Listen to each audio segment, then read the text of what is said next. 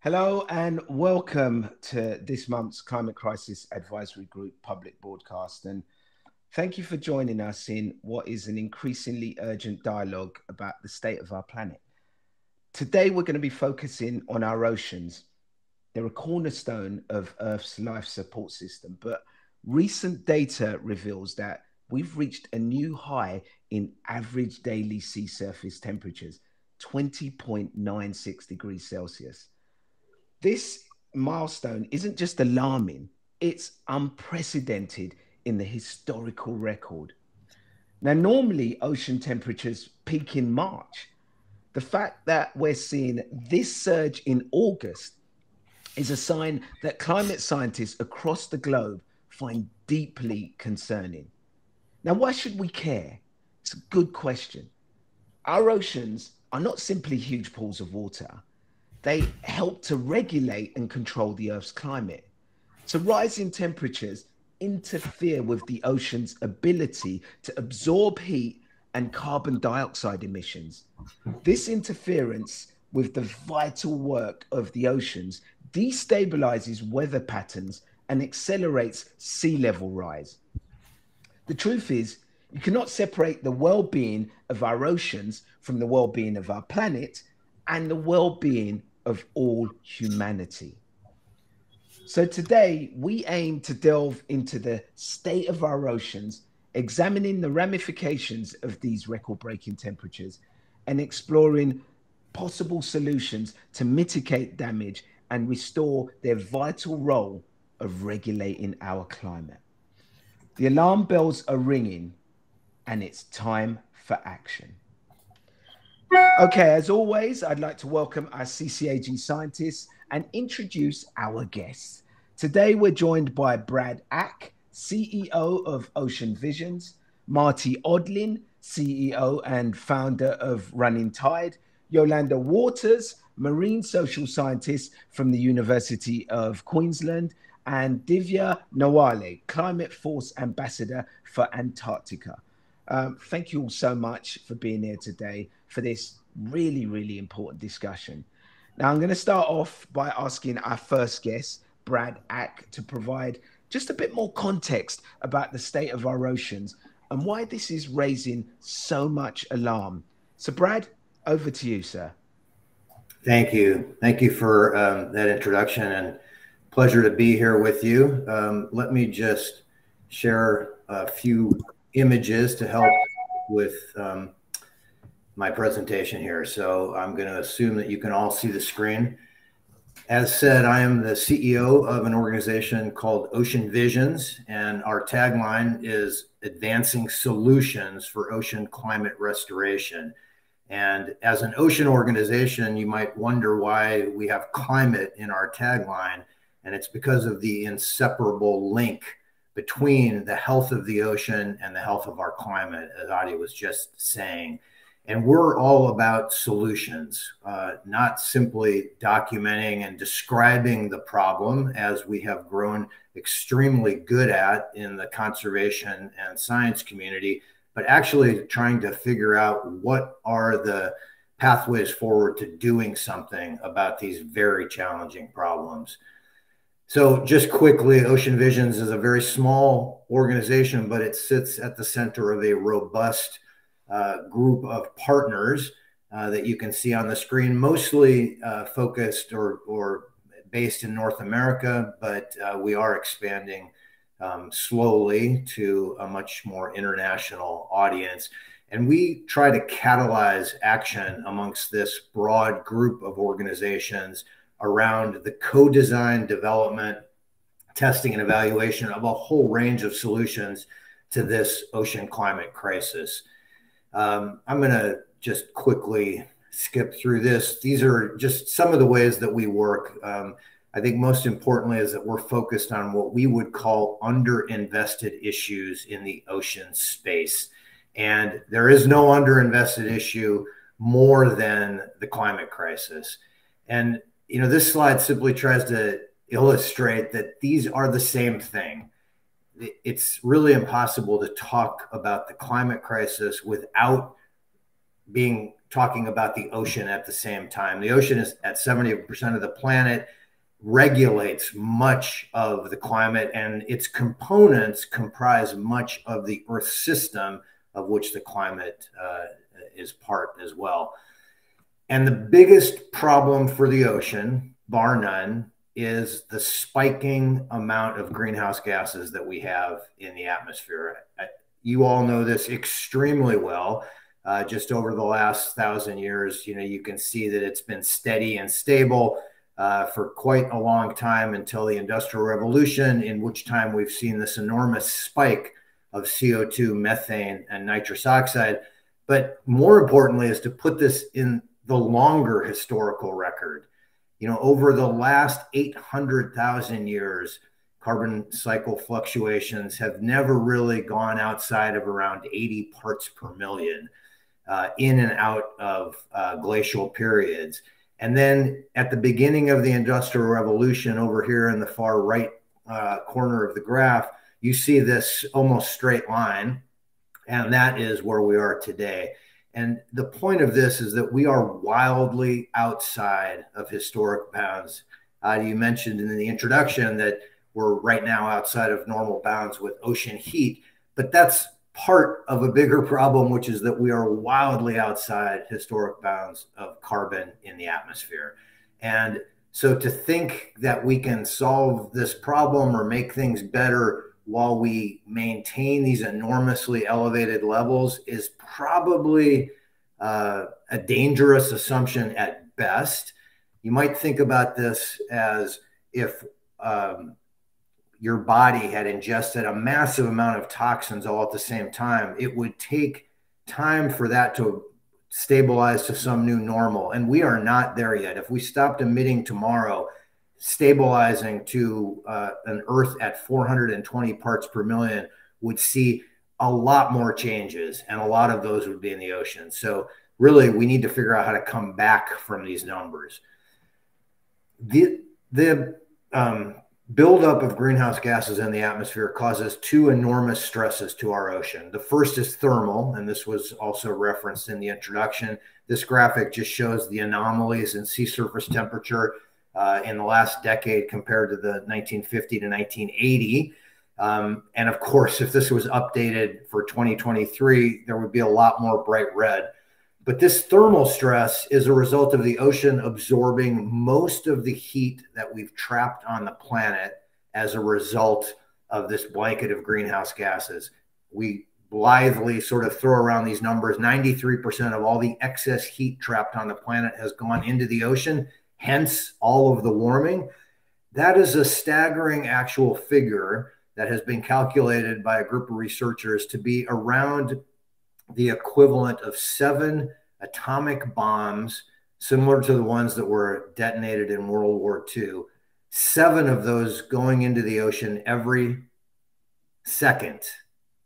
Every second of every minute of every hour of every day of every month of every year. That's how much heat we are pouring into the ocean. And that curve has been uh, accelerating. So it was around five 20 years ago, and now it's at seven. And again, that heat will not turn off until atmospheric concentrations of greenhouse gases begin to come down. Full stop. Nothing else turns off that heat. There are some things that might slow it down, and we'll talk about those. But what is this doing to the ocean? First, it's a big contributor to sea level rise because warmer water expands big contributor to the decrease in dissolved oxygen levels across the ocean because warmer water holds less dissolved oxygen. Marine heat waves, which we've all experienced this summer, unlike anything we've seen before. And of course, one of the most obvious victims of that is coral reefs, which are um, in extreme jeopardy in this warming ocean. But these heat waves and marine heat also interrupts interrupts mixing between the upper layer and the mid layer of the ocean, where all the nutrient exchange takes place for much of the ocean's food web. It's creating more powerful storms. We're just experiencing this right now on the east coast of the Atlantic, uh, excuse me, on the east coast of North America. Um, it's increasing the melt of sea ice and ice sheets, which have obviously uh, positive uh, feedback loops or climate feedback loops that are also dangerous. and we're seeing a poleward migration of marine animals. So this is bar none the biggest threat to ocean health. It's not fishing, it's not plastics, it's not habitat uh, de- degradation uh, or destruction. All of those things are important, but nothing holds a candle to the amount of heat that we're pouring into the ocean on a regular basis thermal stress. The second big stress to the ocean coming from this buildup of greenhouse gases, in this case, especially carbon dioxide, is chemical stress. The ocean has absorbed a very significant portion of all of our CO2 emissions, anthropogenic CO2 emissions. And of course, that's helping prevent worse things from happening on land, but it's a very big impact to the ocean. 30% increase in ocean acidity in the upper layer of the ocean in the last 180 years. So, a giant impact to 70% of the planet, which impacts any aquatic life that forms calcium carbonate shells, which is a very significant portion of the lower part of the food chain. And essentially, we are performing a giant uncontrolled experiment on the ocean by continuing to dump CO2 into the upper layer of the ocean. There is a tremendous storehouse of, of carbon uh, in the form of bicarbonate and carbonates at the bottom of the sea uh, that is part of the ocean's carbon cycle. And those are far more uh, quote unquote safe for the ocean than this dissolved carbon dioxide gas in the upper layer of the ocean. So, thermal stress and chemical stress, the two biggest threats to the ocean, not going to turn off until we reduce atmospheric concentrations of greenhouse gases. So, just remember that.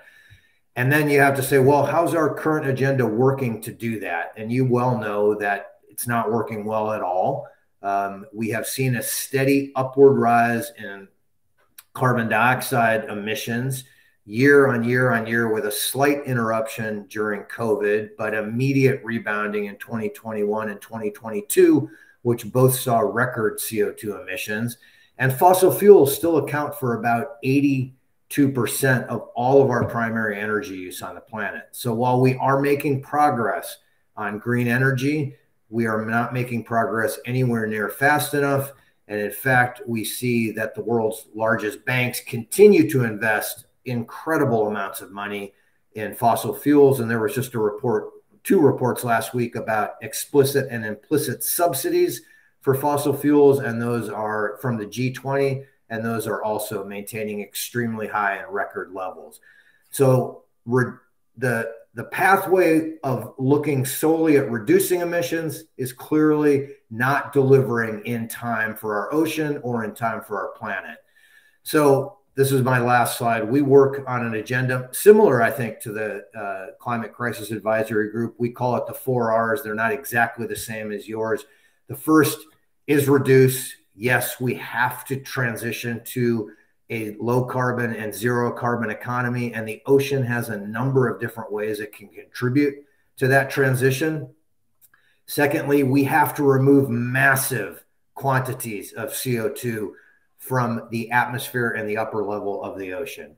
Around a thousand gigatons or a trillion tons of carbon need to come back out of the system, reverse uh, emissions over the next 80 years, over the next 70 years, and as quickly as possible. And Marty is uh, championing one pathway to do that that you'll hear more about in a minute. We also are going to need to stabilize critical parts of the Earth system in the meantime, because clearly we are running the risk of collapse of critical parts of the Earth system and the, the slow process of cooling the planet via reducing and removing.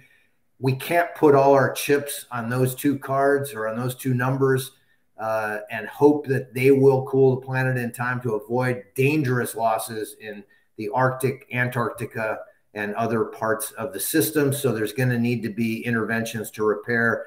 And the fourth part of our approach is to build a much broader global community of makers and solvers, diverse geographically, diverse culturally, diverse disciplinarily uh, to put much more effort and attention into solving these problems. So, with that, I will stop and turn it back to you. Thank you. Thank you very much indeed, um, Brad. That was um, wow, wow. It was. Uh, I, I feel like I need uh, a, a few seconds just to absorb all of that really heavy information. I mean, the top line for me is, you know, where you say the biggest stress um, to ocean health um, is the amount of heat that's being absorbed by our oceans, which you're saying is the equivalent to seven atomic bombs every second of every minute of every day, every year. I mean, that is just, if that doesn't sink home at the state of our planet and the, the situation that we're in, I, I, I don't think anything will. So, once again, um, Brad, thank you so much for that. Um, look, you mentioned, the, you also mentioned the chemical and thermal stress and the enormous risks uh, that these create. And one one byproduct of this amongst us um, as humans is a rising sense of emotional stress as we feel the urgent need for action. Now, even as the world banks continue to invest trillions of dollars in fossil fuels and global car- uh, global carbon emissions continue to increase, it's it's just so worrying that there is like this disconnect between what our world leaders are doing and what our planet needs.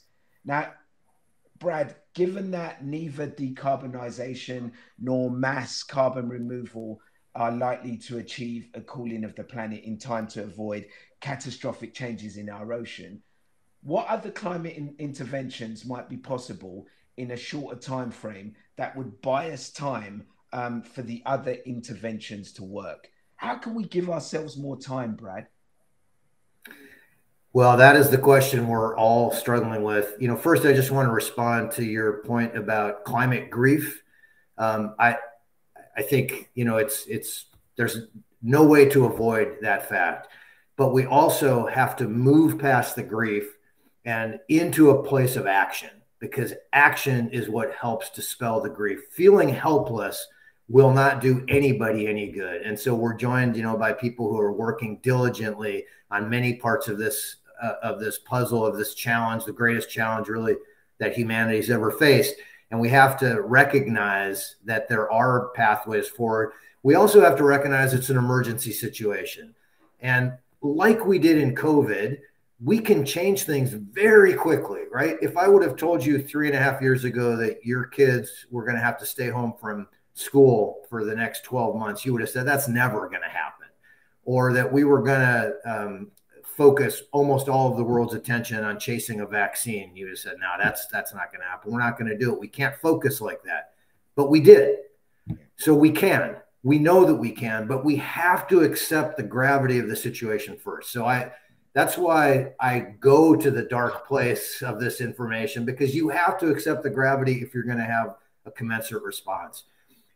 Now, to your question, we're going to have to come up with other interventions that cool the planet in the short term in order to maintain livability and function while we take the harder while we change our lifestyle so to speak and take the harder steps over the longer term. You know it's kind of like emergency medicine. If you have a lot of a lot of problems you know, you might need to start eating healthy and exercising regularly, and it's going to take some time for those things to work. But in the meantime, you might need some sort of emergency intervention to maintain your health. Um, the, we're in that sort of a situation. Some of those things, uh, obviously, the most extreme are going to be solar radiation modification. Um, but there are variations on that that are much less extreme, like marine cloud brightening let's just say we put devices on the back of every ship on the planet to create low lying marine clouds and reflect heat, like they're experimenting with at the Great Barrier Reef right now in order to cool uh, the reef during times of bleaching. What if we did that across the globe? Could we change? Could we change the amount of heat being reflected back into the atmosphere? What if we painted every surface bright, brilliant white, as has been proposed, by no less than a former Secretary of Energy uh, in this country and others. It's not absurd at all. There are things that can be done, but it takes that emergency attitude footing to begin to do them on the scale that's going to be necessary in order to make a change, an impact. Yeah, thank you, uh, Brad, for that. I, I, I, I you know, the, the whole um, point where you talked about not being fearful, um, I think is so important. You know, I I tend to use my um, experience from playing um, sport, elite level sport, in this situation, and you know, I always use fear as a way to focus to focus my mind. You know, we can't be fearful; we have to be focused. Um, look, I, I, think it's really important what we're talking about today. And if you're just joining us for the first time, please spread the word. I know there's a lot of people out there who are worried, who are feel overwhelmed by what's happening with the climate crisis. But as Brad has mentioned there, he's gone to the dark places, but there are solutions. There is hope, and there is a community that is out there that can that can help drive us forward and take us out of this situation. Um, I think this is going to be a great um, point for me now to to move on to uh, our, our, our panel of scientists, and um, I, I, want to go to you first, Professor Lorraine Whitmarsh, and and ask you this question. So many people are, are, are grappling with climate anxiety, and some would say this is a completely rational response to what is happening. Can this emotional response be channeled into meaningful action for ocean conservation? Yeah, thanks, Ade. I mean, I think that's right. I think while climate anxiety is a specific sort of term that um, is being measured in the same way as kind of generalized anxiety. And so people that have the, those kind of um, symptoms of climate anxiety will have their quality of life significantly disrupted. They'll find it difficult to sleep. Um, uh, they'll be distracted in the day um, and so on. So we don't find that that's a very widespread ph- phenomenon, but a lot of people are saying that they're very worried about climate change, definitely. And certain populations are uh, feeling the that, that anxiety more than others. People that have men- existing mental health problems, younger people as well. So certain groups are, are certainly more worried than others. And as you say, it, it's not an irrational response at all to worry about the, this level of existential threat that we're facing. Um, as has already been mentioned, actually, one of the best ways to um, deal with anxiety is to channel that into productive action, to actually take action and feel like uh, you're making a difference. Um, so, so try to overcome any feeling of, of helplessness, and that can actually be best done with other people. So, as a collective, so join a group of like-minded people people that you can share your concerns with. Um, and as a collective, you'll probably find that that action is more effective as well. Hmm. So, so that would be the sort of the take home. But, but in terms of kind of the link between climate anxiety and ocean conservation, I, I think that might not be something that naturally comes to mind for people. We know that people that have uh, climate anxiety are already taking more action on climate change, but they tend to associate it more with things like reducing uh, waste, thinking about the sort of maybe energy consumption. So things that are um, maybe more sort of well established uh, actions that the individual can take to reduce their environmental footprint. There may not necessarily be good awareness about what they can do to address ocean issues specifically so i think there would need to be kind of links that that that would need to be made for people to encourage them to make those links and um, for some communities, coastal communities, for example, that might be a, a, more obvious link than others, and there might be different ways in um, for different communities. Hmm. I think it's definitely something that we in the UK have to take into mind because we're we're an island. You know, we're surrounded by seas, um, so our connection with the oceans and the seas is is it's inseparable. Um, so it's really important. But you know, once again, um, Professor Lorraine Whitmarsh, thank you for that. Um, I'm now going to move on to uh, Professor Nerilie Abram.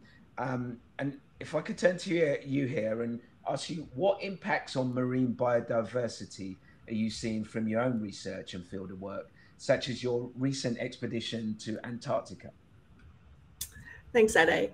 Um, so I'll just start by pointing out that I, am not a marine um, biologist, um, but certainly I, I mean, one of the things that we saw just reported in the news last week was the the terrible story about um, emperor penguin colonies, where um, entire colonies have had breeding failure, um, had chicks drowning because the sea ice broke up before they'd gotten their waterproof um, um, feathers, and I think one of the the issues that we have with these kind of devastating impacts of climate change is that they're often quite invisible. So there's not usually people sort of in Antarctica at those um, colonies to actually be able to see an event like this. And this was something that was monitored um, by being able to, to see those colonies um, using satellites and seeing that the, the sea ice disappeared on those colonies before the chicks had had a chance to, um, to establish.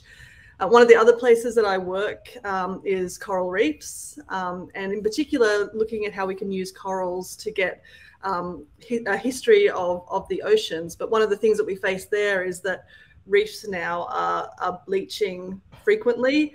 Uh, and so these records that we use scientifically, we go and collect these cores that give us hundreds of years of climate information.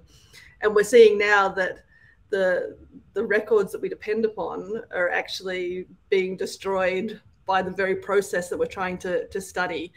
Um, so again, it's one of these things that is often sort of invisible um, in, when we're when we're talking about climate change and when we're talking about the ways that people um, can actually engage with climate change. I think maybe Penguin Chicks has something that will have um, had engagement with um, many people. Um, often, so the the reef is something where when we we have these images of what a reef looks like, but even those things so far haven't been enough to actually turn around the trajectory that we're on and actually have that meaningful um, action to start reducing greenhouse gas emissions. Um, so I think um, those are very powerful and they're part of the conversation, um, but they're also not enough um, when we are talking about how we're going to actually get action to tackle this problem.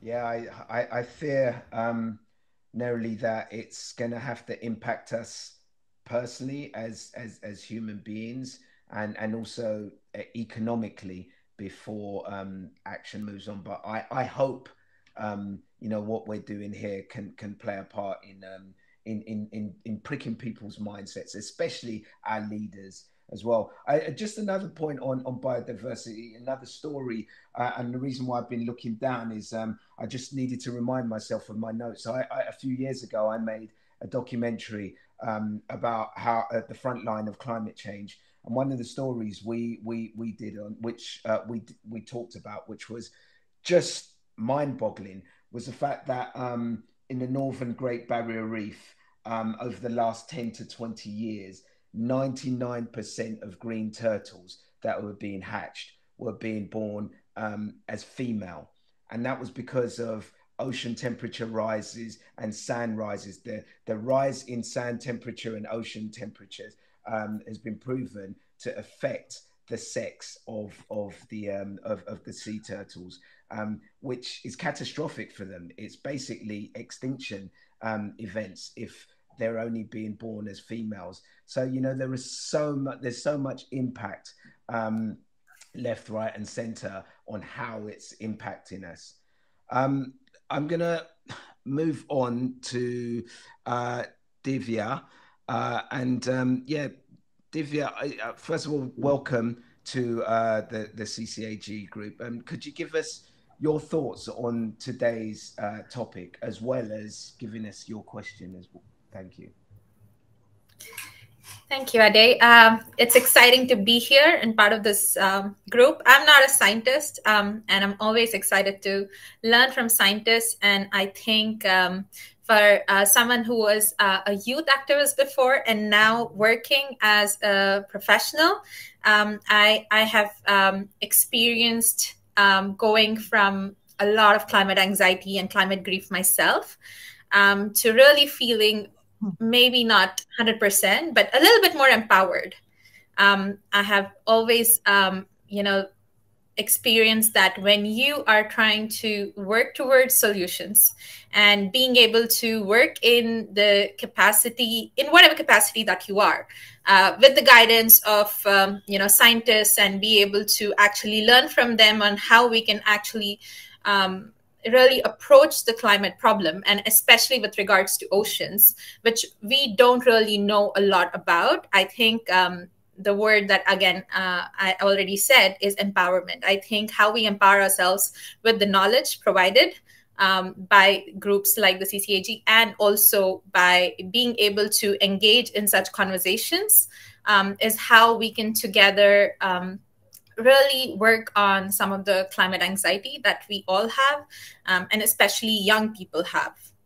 And I think um, this conversation today is really important because um, ocean consists most of our tipping points of the planet uh, the arctic the antarctic um, and most other kind of uh, weather patterns that happen um, are because of the oceans so i think because our key tipping points are based on how the oceans um, uh, behave and um, essentially the weather patterns caused by the oceans are really important for the future of what we will see uh, whether it's a two degree C future, three degree C, or four degree C future. I think it all depends on the ocean, and um, I'm really grateful to have this uh, opportunity to uh, contribute.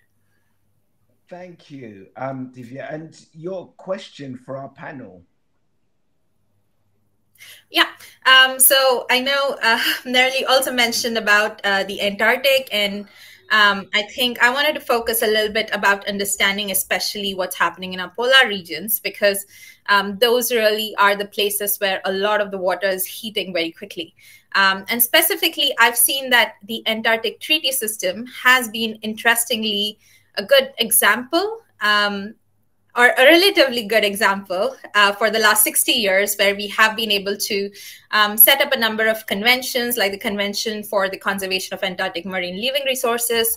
Um, there is of course the marine protected areas that have been set up making ross sea the biggest uh, mpa in the world. And i think it has served um, as as a really good um, framework that can be replicated uh, for other parts of the world. As of today, I believe only seven percent of the world's oceans are protected in the form of marine protected areas.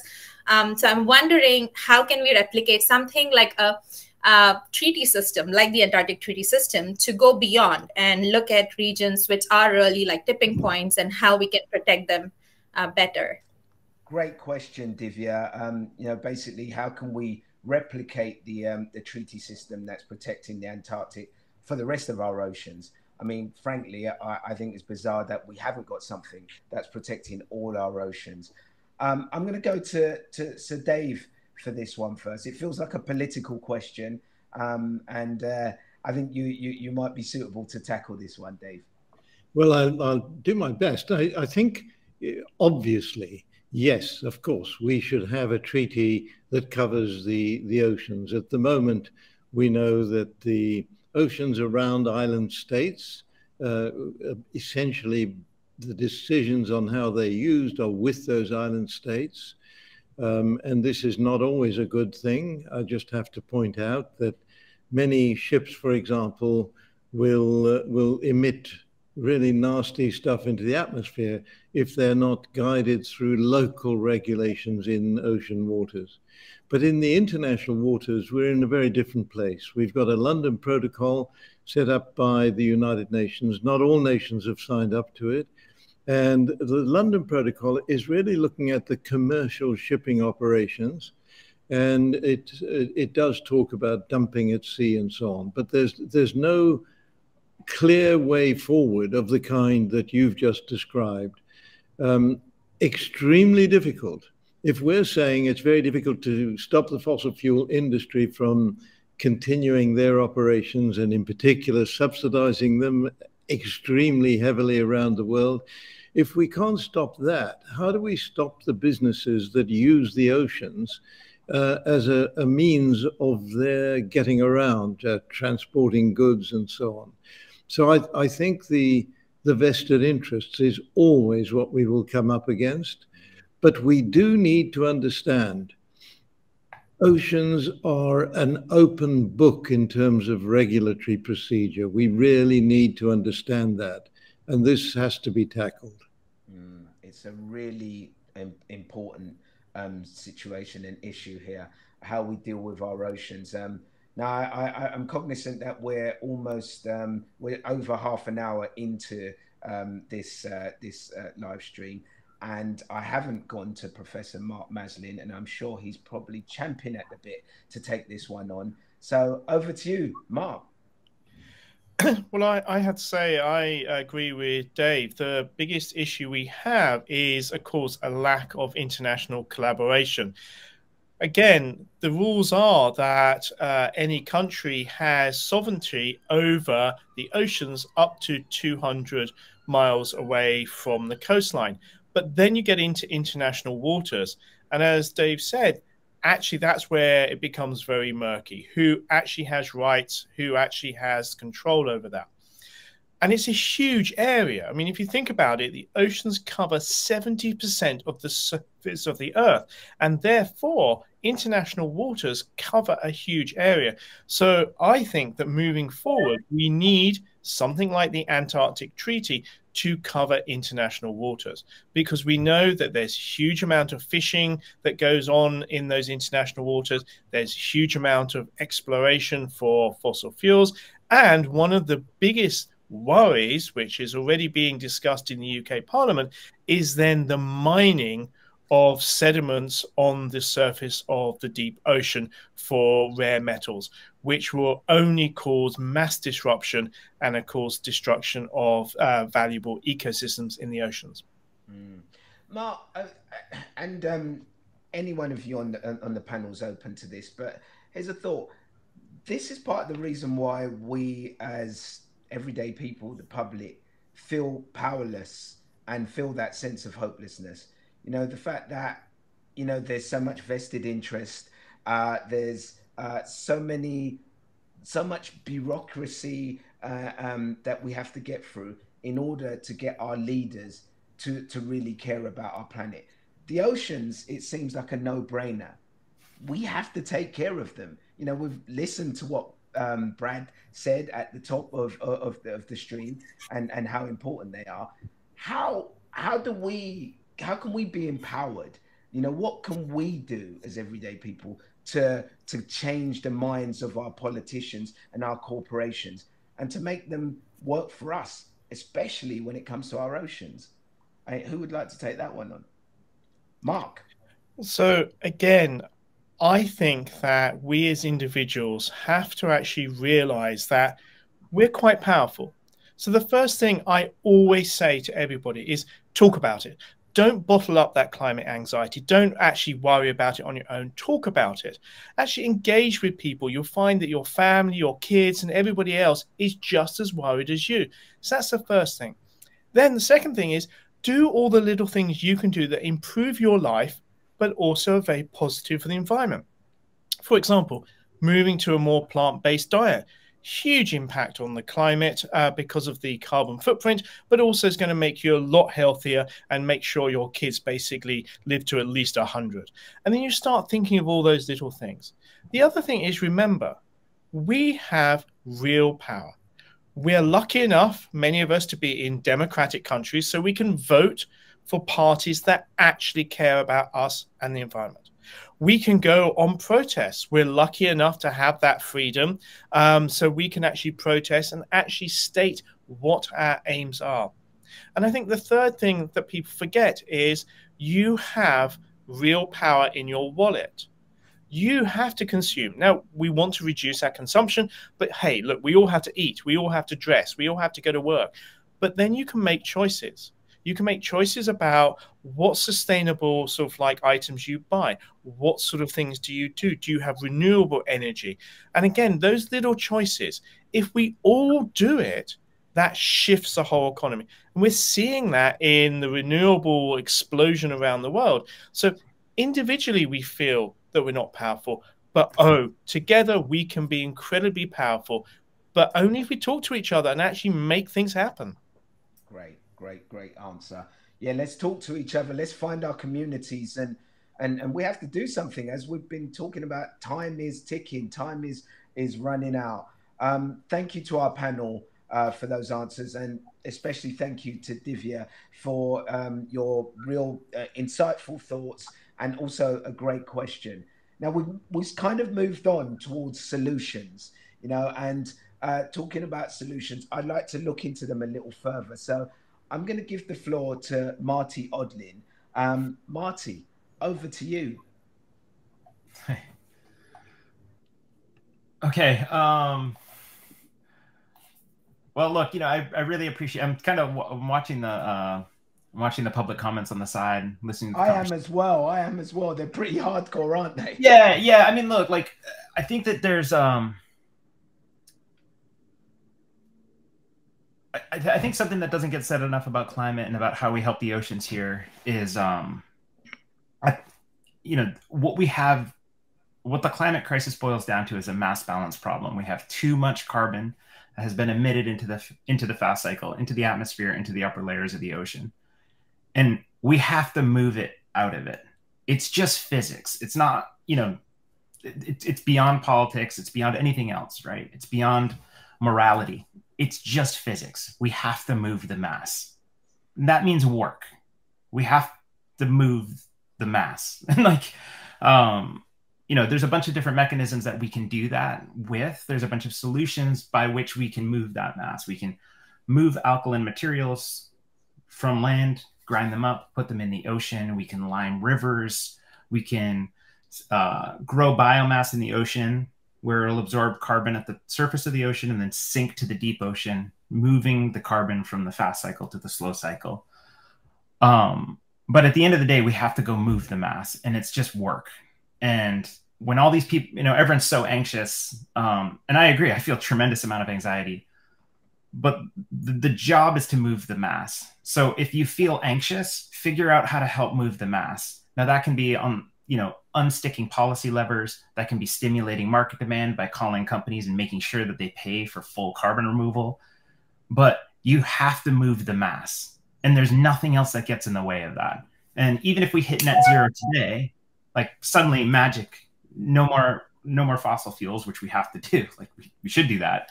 But we still have to move the mass. There's still a tremendous amount of material in the fast cycle that's causing however many Hiroshima bombs per second um, we're, we're uh, that are absorbing in, of heat energy into the ocean. We have to move the mass. So um, sorry to like focus on that effort, but I think that sometimes it gets missed that there's you know certain treaties would do things, certain certain you know you know there, there's market things we can do, we can change behavior, etc. But if we do not move the mass, we do not fix the problem.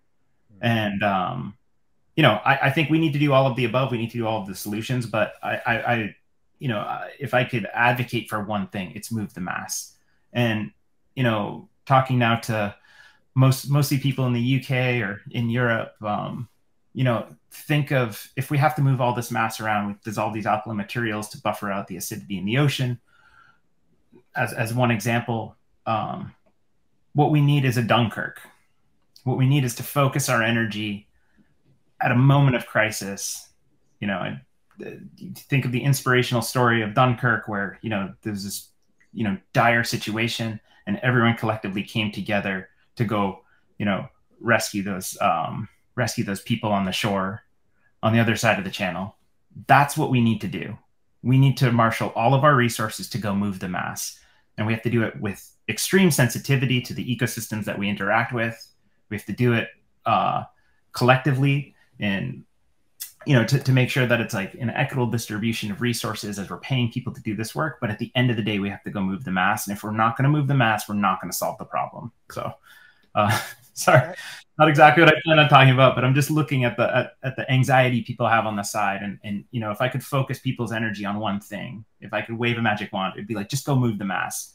No, and if you can't move the mass figure out how to help people move the mass. No i i i, I totally agree with you, and I, I get it, um, Marty. It's about trying to simplify things because at the moment, part of the anxiety comes from how complex this all feels. But when you put it in that way, in those terms, let's just move the mass. Let's get the chemicals out of our atmosphere. Let's let, let let's let's uh, get the heat out of the oceans. Let's simplify things. Then you know I, I think it kind of makes it easier, and it feels like the task we have isn't so big. Um, so no, I, I, I, totally get that, and, uh, and and I feel what you're talking about there. Um, so thank you so much, uh, Marty Odlin, uh, CEO and founder of Running Tide. Um, can I, I? am going to throw a quick question, I think, which is related to this, um, to what Marty's been talking about, to um, to Dave, and uh, so Dave, how can the private sector contribute to ocean health and help governments meet or exceed uh, the required goals? I mean, it's, it's an important question. I've always stressed the fact that without government regulation, the private sector is not going to make the significant contribution that we all know is needed. So it is required, I think, to create a level playing field for the private sector by setting good regulations in place. Um, what I would like to raise, and you may say that I'm ducking your question, Ade, but what I would like to raise is a particular mode of operation in the oceans, uh, which uh, we could have had from Marty, but my, this is creating green material in the surface of the oceans, which Marty did refer to. But what, what a group of us are engaged in doing around the world right now is examining whether or not we can imitate the function of the, of the baleen whales, these very large whales that have been uh, culled over the last 400 years. That was the first oil discovery. The blue whales were culled for their uh, uh blubber and not for their meat. Uh, and this was a massive industry, and now the blue whales are down to roughly 1% of the population they were at 400 years ago. Can we intervene in some way to recover the blue whale population, and what are the consequences of that? Not just the blue whale, all the blue, all the baleen whales. And I, I believe that is going to be possible, and that's what we're trying to investigate. The function of these whales in the biological systems of the ocean was critical. When a whale is eating 300 to 500 meters below sea level, the pressure of the water above them means that their orifices are all jammed shut. So when they come up, they come up for air, fill their lungs with fresh air, but they also come up to relieve themselves. And the feces that they produce is then produced in the sunlit surface of the ocean waters. 300 meters down, there's no sun shining. And the net result of that is a very quick growth of green matter in the surface of the ocean. This is like a farmer fertilizing the surface of the of farmland. And so what we see within a month or two, if a big green area has been formed by a big pot of whales, you might get something like a quarter of a million to half a billion fish in that area. And the fish have all arisen because the fish larvae that hatch from eggs need phytoplankton, which is this green matter that's formed on the surface of the ocean as a result of the fertilizer. Now, is it possible that we could put that artificial whale feces on the surface of the ocean and so create enough green material that we return the ocean population of the baleen whales, but also of all of the other biological material in the ocean, living matter in the ocean, including, of course, the fish that uh, that many people have been overfishing, uh, but we could repopulate the fish population as well. But in the same breath as returning the biodiversity of the oceans, this process would also be taking up a very large amount of carbon dioxide.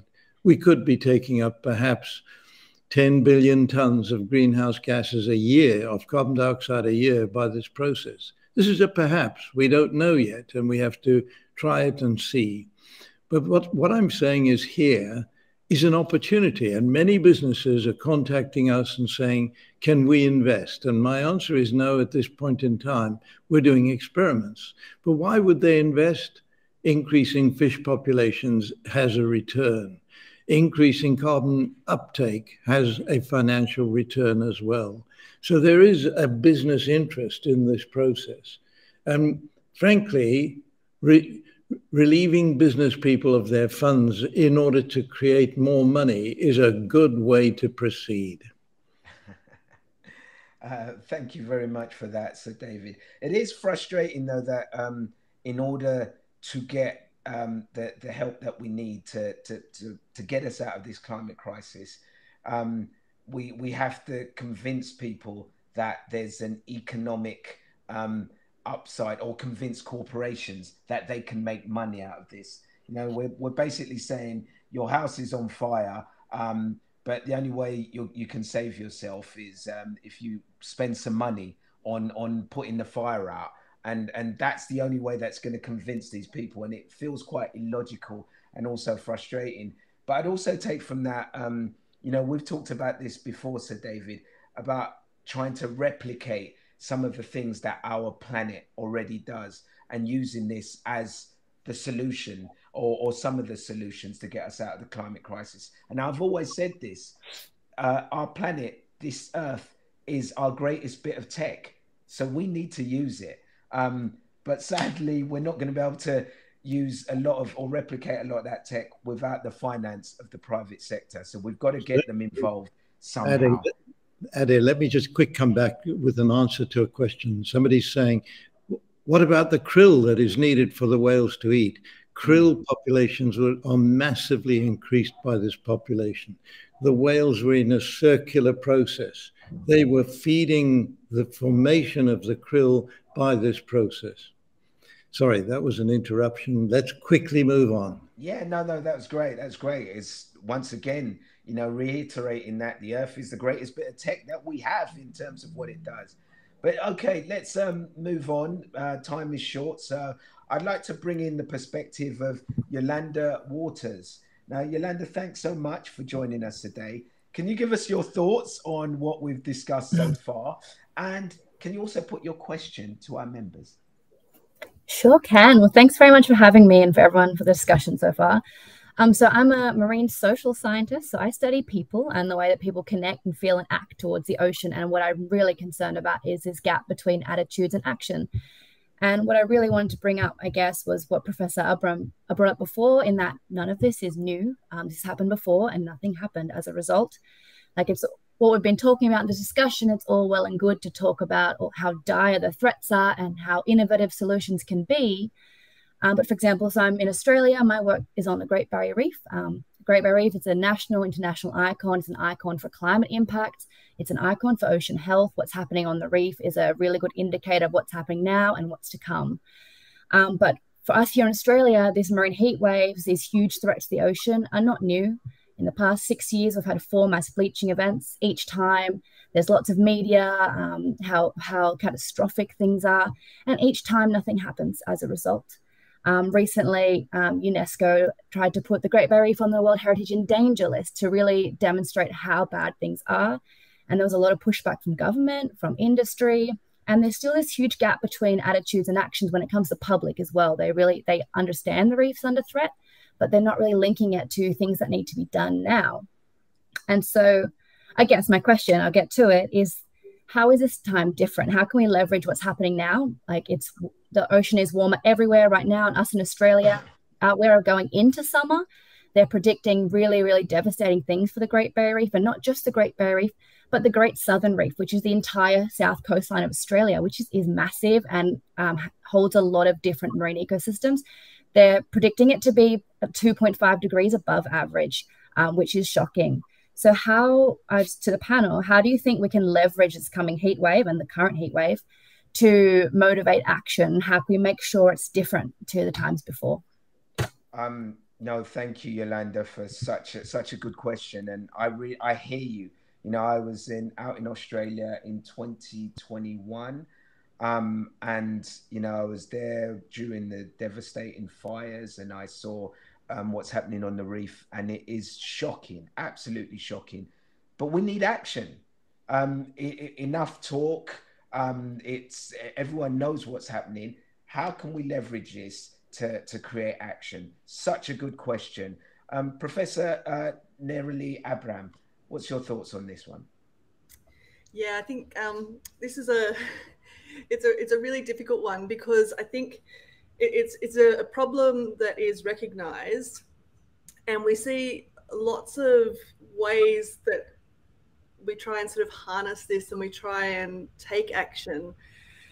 But the the action that, that is being taken are the the solutions that actually aren't addressing the the overarching problem. So we see deploy drones to kill crown of thorns starfish. Um, let's build an ark to preserve species um, so that um, we've got a chance of regenerating the, the reef at some point in the future. Um, let's prevent runoff from the farming on land so that we, we don't put as much stress on the reef. And all of those things are, are important. All of those things are, are stresses and ways that um, we can take the problem and put solutions to it. But none of that is going to matter if we don't actually get the first bit right. And the first bit is reducing greenhouse gas emissions. So I think that um, we certainly need to encourage that innovation um, that sort of, I guess, falls under the, the repair part of um, what CCAG sort of calls for. Um, but repair without having the reducing emissions is not going to get us anywhere. It's going to make people think that they're doing something and then a huge disappointment when those efforts don't actually lead to saving saving the reef. Um, so um, yeah, I think that's my answer, and, and I'll, I'll, pass over to others yeah. for for their comments as well. Yeah, thank you, Nerilie. Um, Professor Lorraine Whitmarsh. I mean, how do we how do we prick our governments and our and and the corporations into action? Because it feels like we're constantly having these conversations. We know the solutions are out there. We know the problem is there, but our actions are not matching the urgency of the situation. What's going on in the human psyche that's that's stopping this? What's creating this disconnect? Yeah I, I, think that you're right. So i think there are lots of things that that we can do. I mean earlier mark talked about just having a conversation with other people. Uh, anybody can do that. Anybody can raise awareness of the issue and say that they're worried about it. At the moment we know that actually the vast majority of people are worried about climate change but everybody assumes that other people are not worried about it this idea of pluralistic ignorance. We just don't know that other people are worried but actually most people absolutely are and want more action taken on climate change. So the more that we can vocalize that the more that will be evident to one another and to policymakers that there is a there is a mandate for for change on climate change for for bold action so we need to raise our voice we need to be more active citizens and put pressure on our, our politicians to to take more action. So write to our politicians. We can potentially protest. We can act as consumers, as Mark has also said. Um, we can act as investors. It, the people around us, we can we can influence our children, our family members, people in our community. There are so many things that we can do as individuals, not only to directly reduce our own carbon emissions, but also to try to change the system and try and get our policymakers to act. And we absolutely need more policy action. That's that's the really critical thing, because at the moment it is difficult for us to to do the right thing. We all want to do the right thing, but um, other things are always kind of priorities on a day to day level, and there it, it's often inconvenient or more costly to uh, to do the low carbon thing. So we need governments to really step in, but they need to hear from people that this is a priority. So there's plenty that we can do, I think, to vocalize that concern. Thank you, Lorraine. Um, Professor Mark Maslin, you know, how do we how do we leverage these heat waves? How do we leverage these issues to to enact change? I think it's we raise our voices, and I have to say I was so encouraged by the change in Australian politics, whereby uh, a group of women said, "I'm sorry, no, we, have had enough. We're going to be elected. And they were. And I think that's incredibly important to show that through democracies, we can change things. I think one of the other thing is people forget how powerful the youth voice is. The actual Fridays for Future, young people going onto the streets and saying, I'm sorry, your legacy sucks. And if you don't actually deal with this, we're literally going to have to fix it ourselves. And we're going to look back at history and say, you failed us. And I think that's somewhere we need to actually demand we have politicians that we want to have. And I think that's something we have to work out. We need politicians that have a longer term uh, view. They actually have integrity. They actually think uh, for the people. And I think we should a vote for those sort of people, but we should also demand and actually keep an eye on those people so they do what they do. And for me, it's a no brainer. Australia, incredibly sunny country, incredibly windy wow, you've got all these resources. Why dig up all that dirty coal when you've got uh, resources literally sitting around waiting to be used? So, and guess what? It's cheaper. So, again, I think it's leveraging those things, it's taking economics Ade, I have to say, I slightly disagree with you.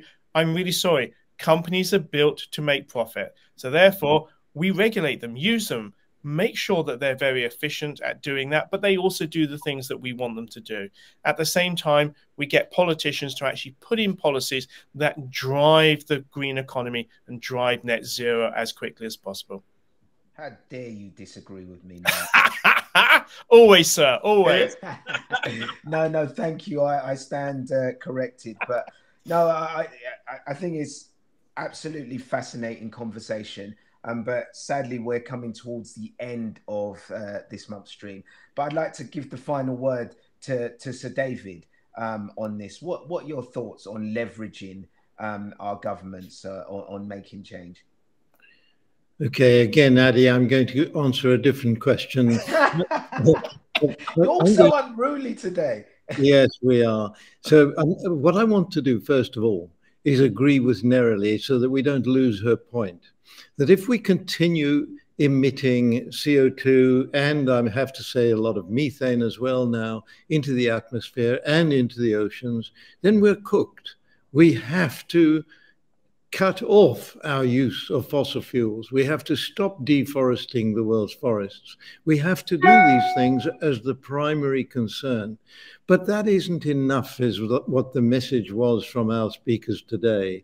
We're also saying that there's already so much greenhouse gases in the atmosphere that we're heading towards a true disaster. And I do believe that we have to learn to remove billions of tons of greenhouse gases from the atmosphere. And we've got very little time to do this. This is a major priority. But at the same time, we, we have this business of buying time, and there have been some curious comments alongside uh, the, our faces while we're talking about buying time. I do believe we can buy time, but that means in particular that we need to see whether we can cool down the Arctic Circle region, which is heating up at 4.3 times the rate of the average for the whole planet. We will have to cool the Arctic Circle down and keep the ice that is formed when the sun has gone down to the South Pole uh, when it's formed in the polar winter uh, and keep that layer of ice there when the sun comes back. My best bet is marine clouds over the Arctic Sea during the three month period. So I do think we need a coherent approach to this. And I think that Brad set us off well with a very coherent strategy for managing the crisis that we're in. Thank you. Thank you, Sir David, and um, thank you also to the rest of our CCAG scientists. Um, that's all we have time for today. I just want to leave you with um, uh, the, the three words that Brad started off with, which are reduce, you know, take the carbon out of the atmosphere, um, re- remove, you know, um, and, and lower our carbon emissions and repair. You know, we have to stabilize the Earth systems and, and cool it down you know, so important. So thank you so much to our guests and thank you to our scientists. And we'll be back next month as uh, COP28 draws closer. But until then, goodbye for now.